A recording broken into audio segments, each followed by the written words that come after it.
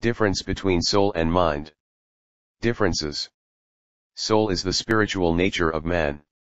Mind is man's faculty of thinking and reasoning. Soul is considered as the essence of man. Mind is in charge of man's consciousness and thoughts. Our desires stem from our souls. Guide what actions to take in order to achieve our desires. Soul is thought to be separable from the body at death. Mind will stop functioning on death of body.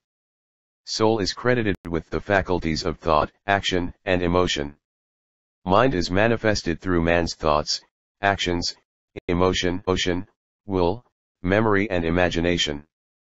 Idea of soul is more closely connected to spirituality and religion. Mind is more closely connected to science. Similarities.